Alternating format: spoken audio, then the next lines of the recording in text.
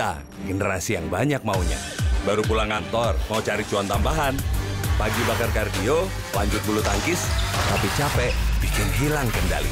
Bantu semangat lagi dengan Fatigon Spirit. Jaga stamina dan kesegaran.